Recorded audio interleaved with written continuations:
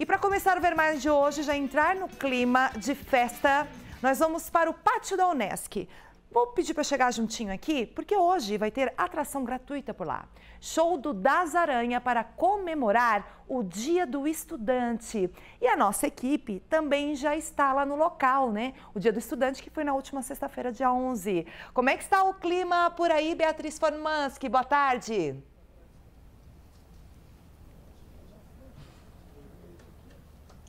Oi, Gi, boa tarde para você, boa tarde para todo mundo que já está ligadinho no nosso Ver Mais. Dia lindo é a gente que faz, né? Já diria das aranhas, que é claro, a atração principal desse show que acontece super especial, como você disse, em homenagem ao Dia do Estudante, também em comemoração aos 55 anos da Unesc. Clima aqui de preparativos, viu? Equipe técnica já deixando tudo pronto para logo menos às 5 horas da tarde começar o show, não inicialmente com o das aranha, mas a gente vai entender um pouco mais sobre programação, como que essa ideia né, de atração principal foi pensada aqui para a Unesc com a Luciane Sereta, que é reitora da Unesc, já está aqui do nosso lado. Lu, muito boa tarde, seja bem-vinda ao nosso Ver Mais. Queria te pedir para nos explicar um pouco da ideia, andei sabendo que foi uma reivindicação dos próprios estudantes. Como que vocês pensaram em homenagear eles também por esse dia tão importante? Boa tarde. Muito boa tarde, boa tarde, Gisele, a todos os que nos acompanham no Ver Mais.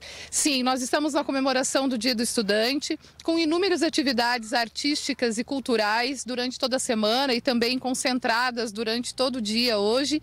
E finalizando então com a trilha sonora da banda catarinense das Aranha. A Unesco é uma universidade que completa 55 anos nesse ano e uma das bandeiras pelas quais ela abraça a região é a arte e a cultura. E no diálogo com os estudantes surgiu deles o desejo de ter uma atividade de integração cultural no nosso campus, aberta a toda a comunidade acadêmica e também a toda a comunidade externa, de onde surgiu então inúmeras possibilidades, dentre as quais eles escolheram a banda das Aranha, que tem tudo a ver com o ambiente acadêmico, com o nosso estado, com a nossa cultura, com os nossos estudantes. Nós, portanto, convidamos a todos que nos escutam, que nos acompanhem hoje. A partir das 17 horas nós teremos atividades artísticas, DJ, todos, todo o nosso musical musical, companhia de dança, coral à disposição aqui com as inúmeras atividades. E a partir das 19 horas, então, é o chamamento do Das Aranha para continuar conosco aí, embalando a nossa atividade até as 21 horas. Que legal. É também uma oportunidade, mais uma, para comemorar os 55 anos da Universidade Comunitária, né? Claro, está no calendário dos 55 anos da nossa universidade comunitária, porém com uma atividade construída para os estudantes e pelos estudantes, né?